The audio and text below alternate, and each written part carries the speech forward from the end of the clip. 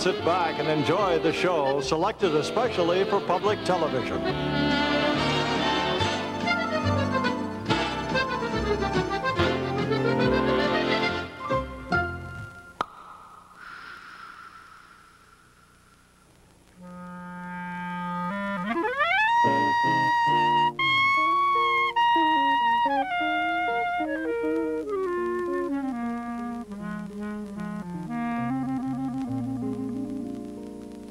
That's the sound of a New Orleans clarinet.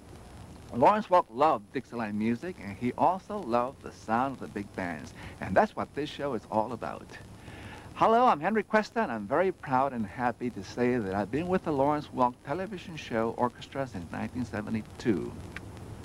Working all those years with the Welk Band has been an important part of my professional life and has opened many exciting doors for me in my career. Recently, I was part of the Battle of the Big Bands, a 20-state tour that lasted for nearly three months. Night after night, to sold-out houses, we played a concert featuring the styles of four of the big band masters, Benny Goodman, Glenn Miller, Tommy Dorsey, and Harry James. I was honored to lead the Benny Goodman portion of the evening, and we were the grand finale of a rousing two-hour celebration of the legendary big bands. This program is an all-star salute to the big band days done in the great Welk television show style. So settle back and get ready to enjoy the good times of the 20s, 30s, and 40s as we tip our hats to the biggest and brightest stars of the big band era. From Hollywood, it's the Lawrence Welk Show.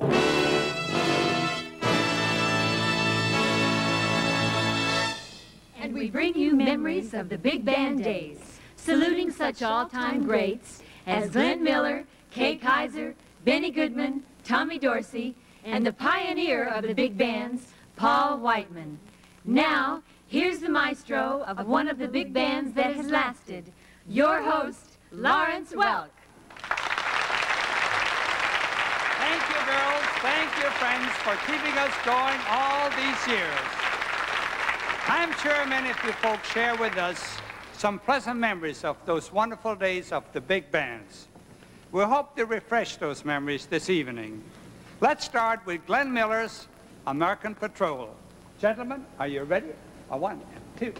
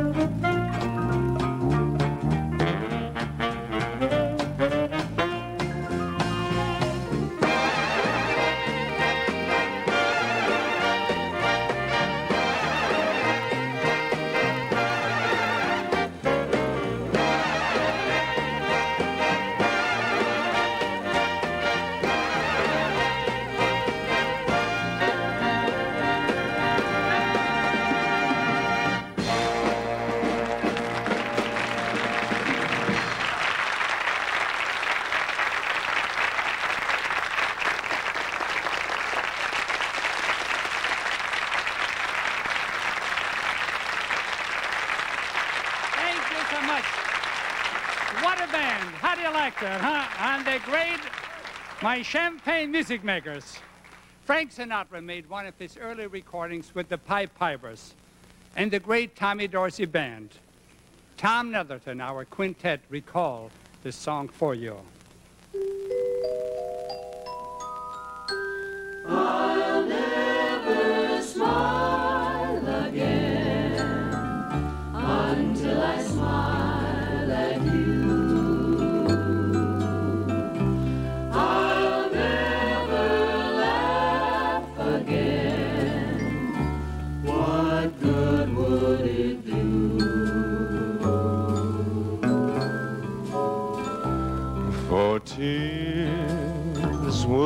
Fill my eyes, my heart would realize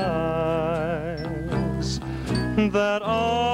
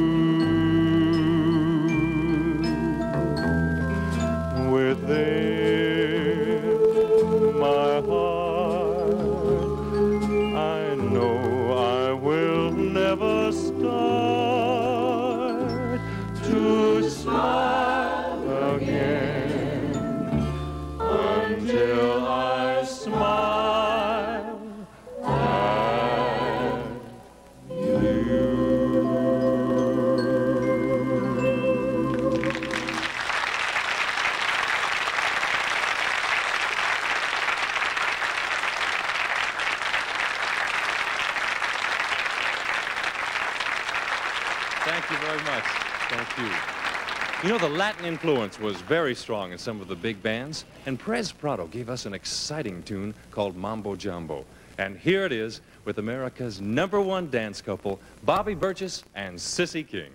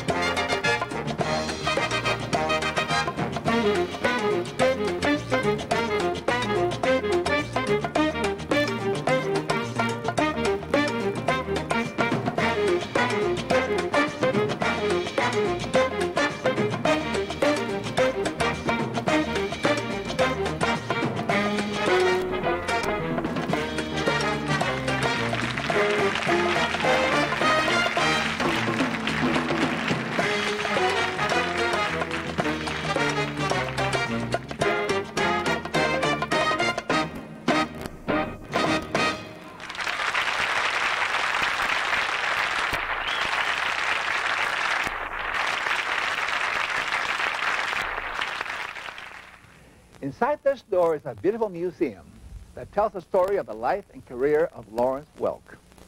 Even though he and I grew up two generations apart, I felt we were kindred spirits. I had it a little easier than Mr. Welk because my father, a violin teacher, began giving me lessons when I was three years old. My cousin Ernie Caceres also inspired me. He was a professional musician and had played with the great Glenn Miller Orchestra.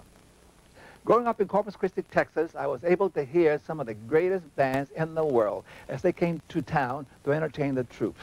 Louis Armstrong, Jimmy and Tommy Dorsey, Les Brown, and Jimmie Lunceford. I knew that being a part of a band was the career for me.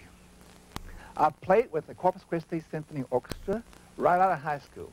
I graduated from Del Mar College just before I was drafted into the Army in 1952, and I was assigned to the Special Services branch of the Army.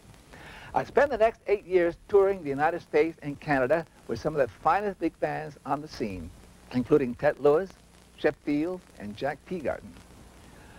In early 1972, I was living in Toronto and working at a place that attracted visiting musicians. One of those visitors was about to change my life and I'll tell you all about it after three more great numbers on our big band show. Such a pleasure to have Guy and Ralna back with us again, and Guy and Ralna, you're on. Thank you. Thank you. It's nice to be back. Hey, Ralna, do you remember uh, Kay Kyser. You mean the man with the southern accent? Hi, y'all. Sure, I remember you don't him. remember him, do you? Sure, I do. Yeah. How about uh, Ginny Simms and Harry Babbitt? You remember them? I sure do. And I've got a good idea. Why don't you be Harry and I'll be Ginny? I think that's a great idea since we're going to do a song that they made very popular with We'll the Kay sing. Kyser Band. Right? Okay. Here we go. Who wouldn't love you? Who wouldn't care? You're so enchanting, people must stare. You're the dream that dreamers want to dream about. You're the breath of spring that lovers gab about or mad about. Who wouldn't love you? Who wouldn't buy the west side of heaven if you winked your eye? You're the answer to my every prayer, darling. Who wouldn't love you? Who wouldn't care? Who wouldn't love you? Who wouldn't care? You're so enchanting, people must stare. You're the dream that dreamers often dream about. You're the breath of spring that lovers gab about or mad about. Who wouldn't love you? Who wouldn't buy the west side of heaven if you winked your eye? You're the answer to my every prayer, darling. You're the answer to my every prayer, darling. Who wouldn't love you? Who wouldn't care? Memories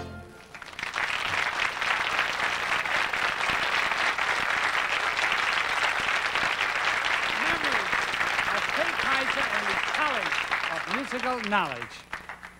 Artie Shaw became famous for his big band.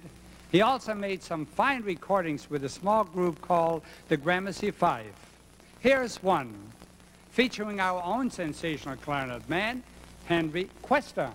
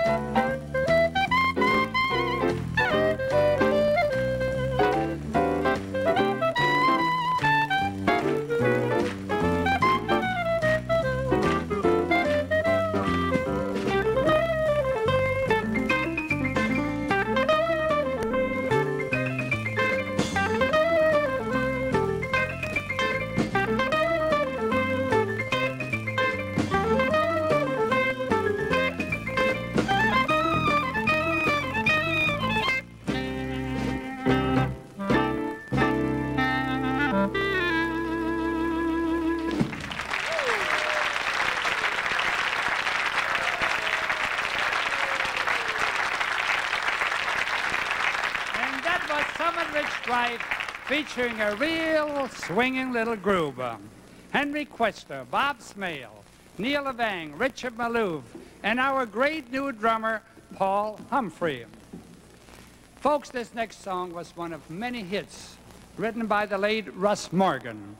You'll hear a group of our pretty girls, also Barney Liddell playing the trombone part that was played by Russ Morgan on the original recording. Bob Ballard conducts. Take it away, Bob.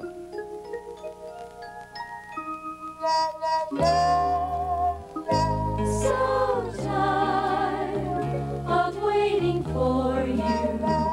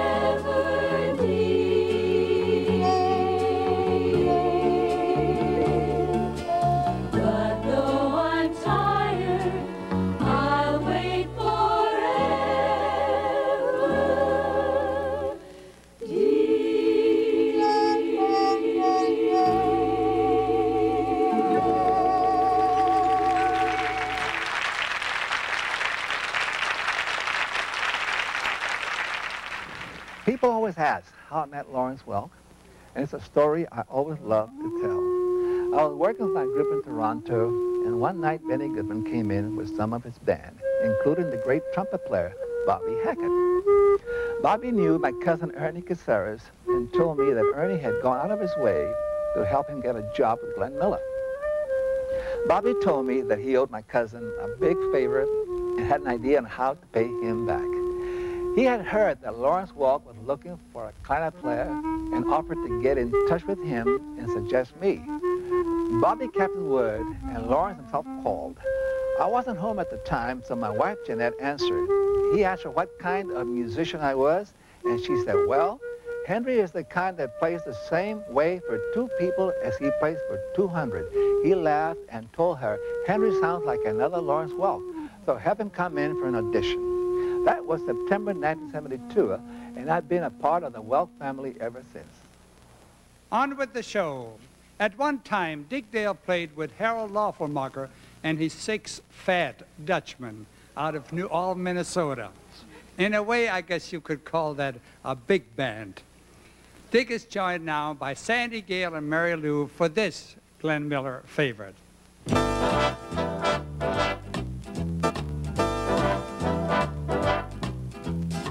Pardon me, boy, is that the Chattanooga choo-choo?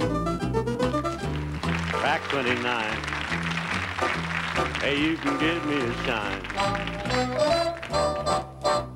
I can afford to board a Chattanooga choo-choo. I got my fare and just a trifle to spare. You leave the Pennsylvania station about in Baltimore. Dinner in a diner, nothing could be finer than to have your ham and eggs in Carolina. When you hear the whistle blowing into the bar, then you know that Tennessee is not very far. Shovel all that coal in, gotta keep it rolling. Ooh, Chattanooga, there you are. Say there's gonna be a certain party at the station. Satin and lace. I used to call funny face. She's gonna cry until I tell her that I'll never roam. So Chattanooga choo-choo, won't you choo-choo me home? Chattanooga, Chattanooga, Get on board,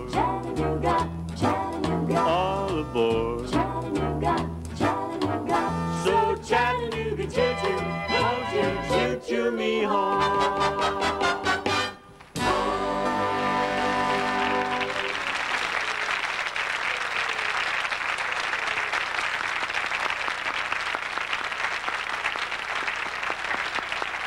Wasn't that excellent? Very nice, Stiggan girls. Memories of Tex Beneke and the Modernaires.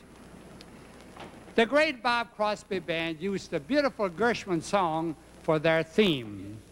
I know you'll enjoy this song by our lovely champagne lady, Norma Zimmer.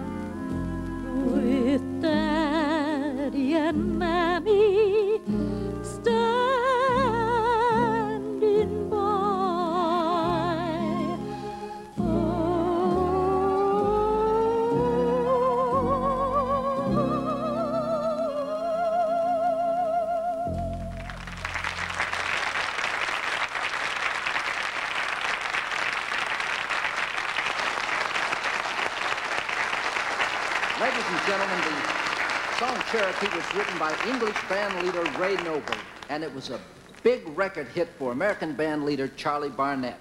Well, we've got a, an arrangement that really moves, and I'll need all the help I can get from my dancing buddies, Bobby Burgess and Jack Imel. Ready, fellas? We're ready. Let's go. Here we go. One and two and...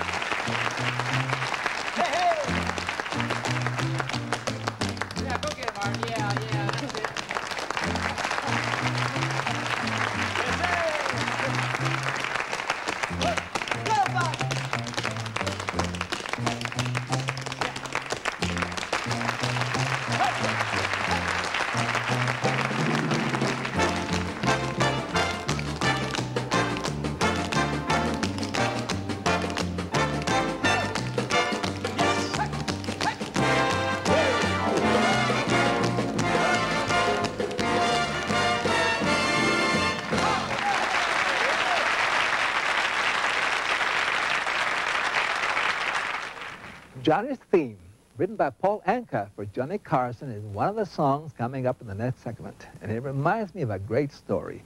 I was in the office of Lawrence's personal manager when the Tonight Show people called and asked if Mr. Welk would like to come on the show.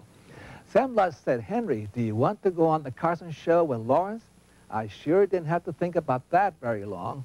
I suggested that we do Oh Henry, the great clarinet solo that Mr. Welk had written for me. It's a good thing that Lawrence and I had played the song together so many times because that night he jumped up in the air to give it a bigger than ever finale.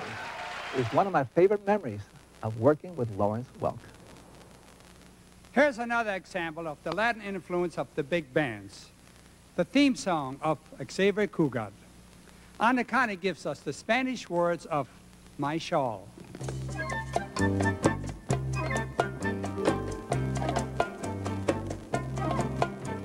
Allá en el batey, allá bajo la sombra de un palmar, empezaba un rey.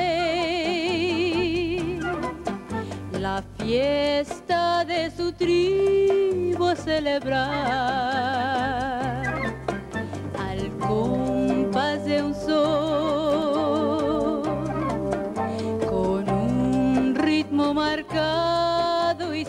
y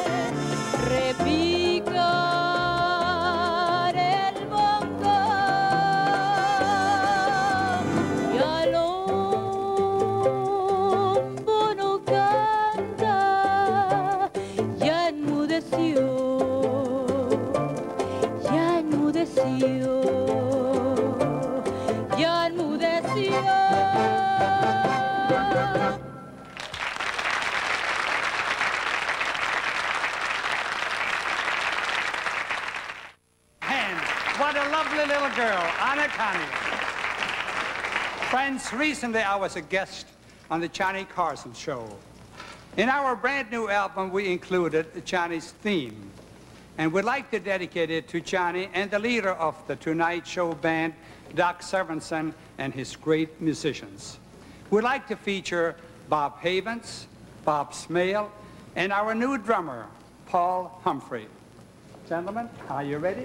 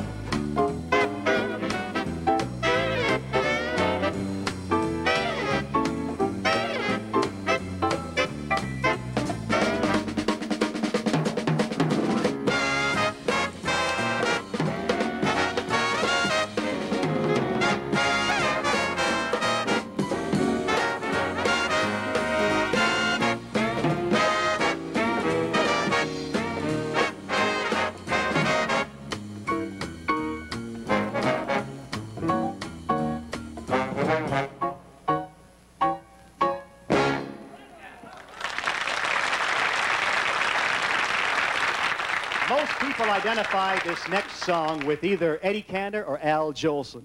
But in case you don't know, it was actually written by the late Ted Fiorito, who was a famous band leader and had a very popular band for over 30 years.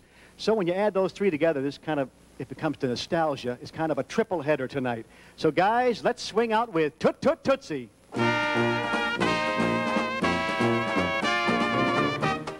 Tootsie, goodbye.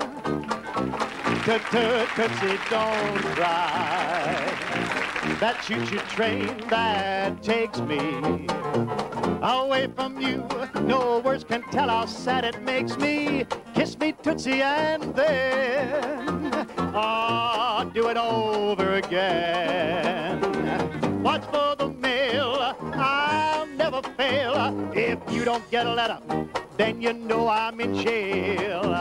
Tut tut tootsie, don't cry. Tut tut tootsie, goodbye.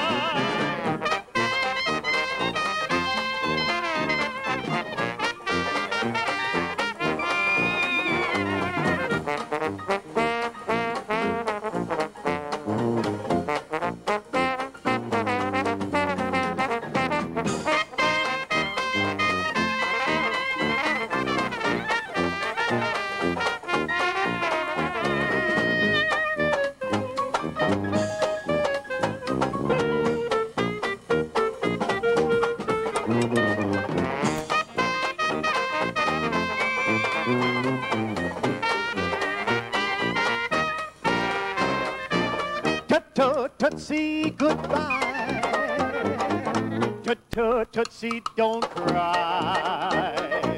That choo train that takes me away from you. No words can tell how sad it makes me. Come on, kiss me, tootsie, and then ah, do it over, do it over again, and watch for that mail. I'll if you don't get. Then you know I'm in jail. Tut don't cry. Tut tut goodbye, goodbye, goodbye.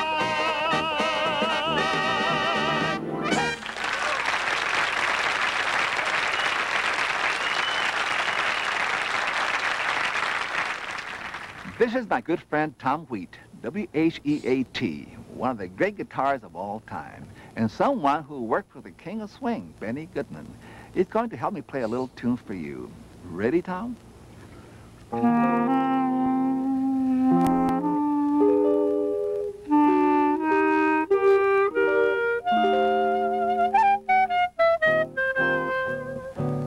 Memories of You was a big hit for Benny Goodman, and I was fortunate enough to have met and talked with him five or six times over the years. Knowing him is one of those memories that you like to brag about to your children.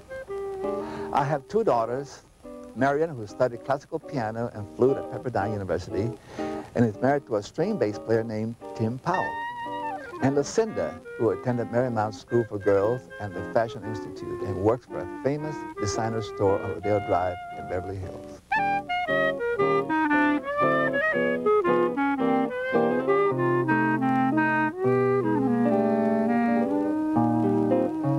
Next number is Benny Goodman's signature song his biggest hit, and one of Mr. Welk's favorites. This next song should recall memories of the great Benny Goodman Band. Trumpet man Ziggy Elman and singer Martha Tilton. Let's hear it again with Tanya, Johnny Zell, and our fine trumpet section.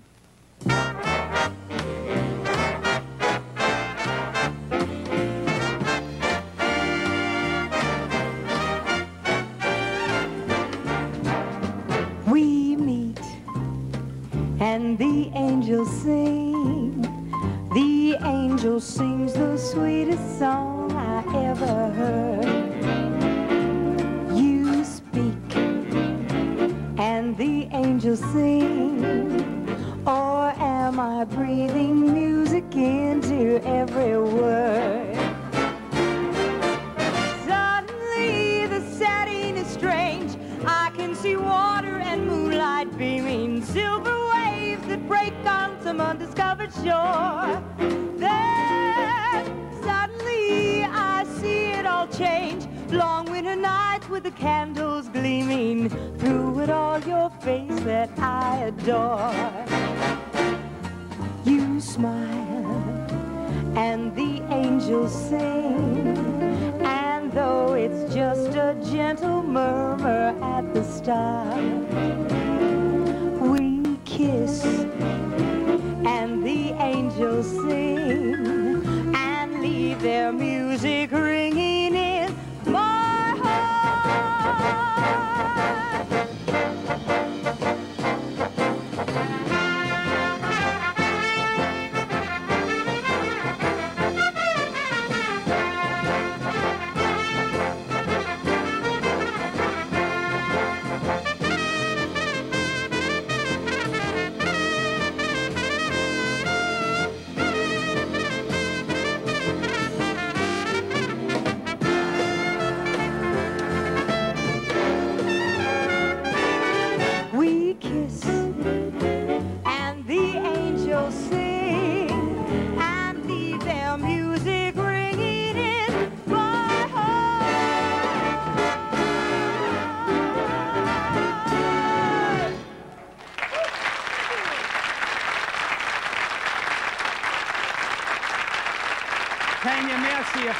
please?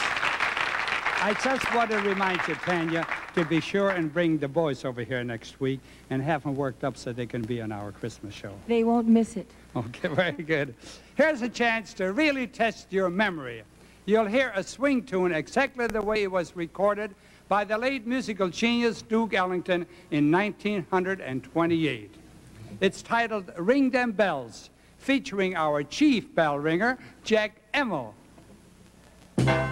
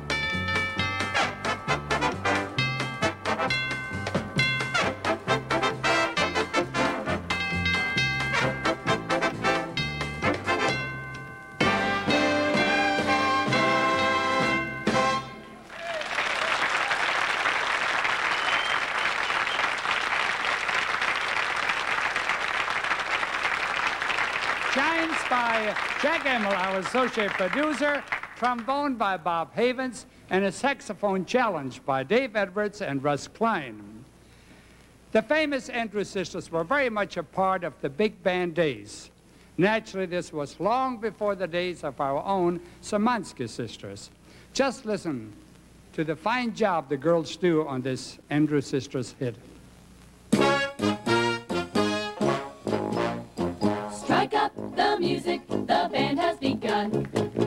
The Pennsylvania polka. Take out your partner and join in the fun.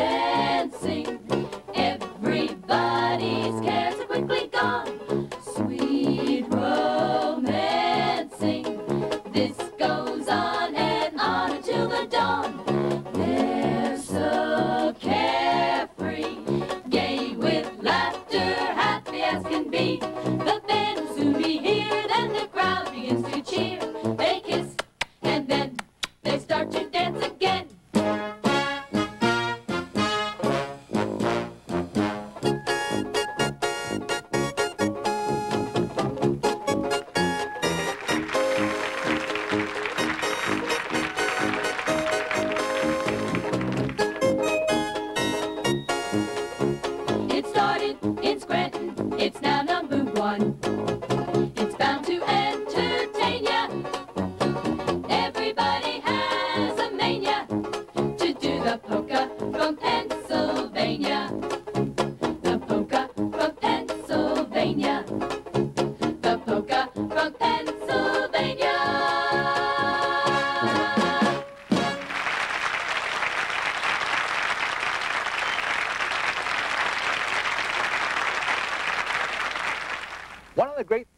about being on the road is the opportunity to work with interesting people. A few years ago, I played with the Jack Mitchell Band in Arkansas, and believe it or not, he called later and asked if I would like to play at President Clinton's inaugural ball. In the next few weeks, I got my clearance from the FBI and my official invitation, and then headed off to Washington, D.C. We played for the Arkansas Ball, and it was the biggest of all the events. There must have been 15,000 people there with bands on all four sides of the room. It was an unbelievable evening and one of the highlights of my career. A career that I owe in large part to the Lawrence Welk television show. Joe Feeney brings back some pleasant memories of singer and band leader Eddie Howard, with Eddie's biggest hit, Bob Ralston at the organ. Bob, a little introduction, please.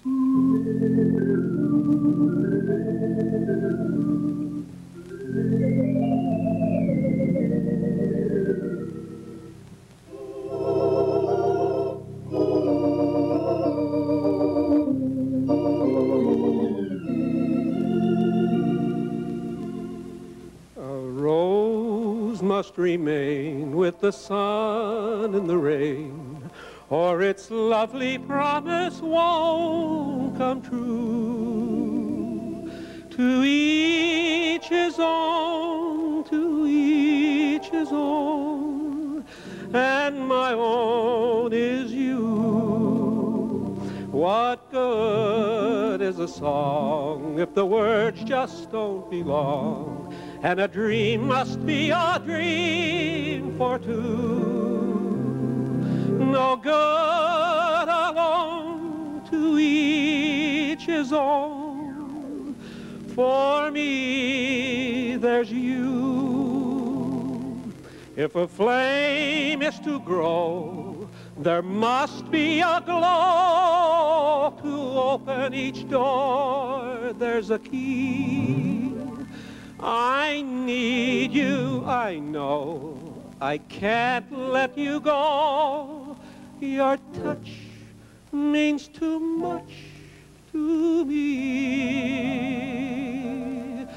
Two lips must insist on two more to be kissed, or they'll never know what love can do. To each own, I found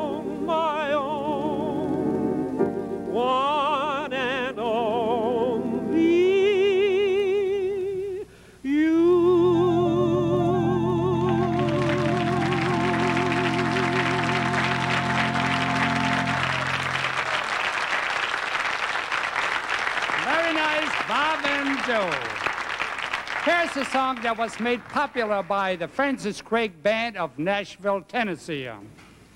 Tonight, ladies and gentlemen, we hear it by our Ava Barber, our country gal. And take it away.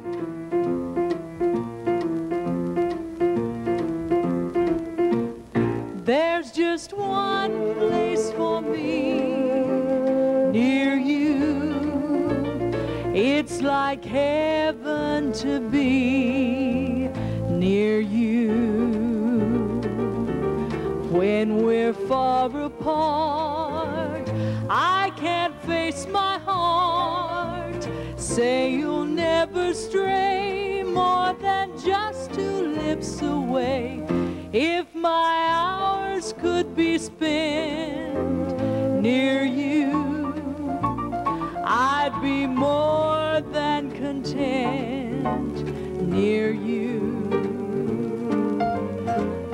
my life worthwhile by telling me that I'll spend the rest of my days near you.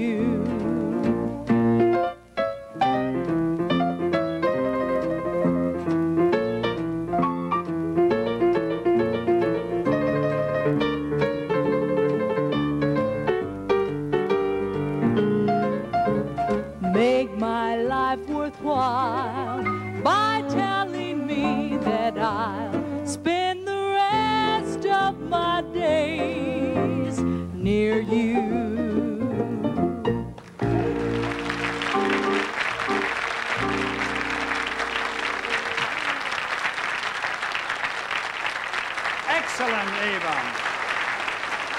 Friends, I just came back from Miami where I was autographing copies of my new book, My America and Your America. I had a very pleasant surprise when my old friend bandleader Art Mooney came up with a book to be autographed. It reminded me we should include Art's million seller on this show. You folks all know the song, so feel free and sing along.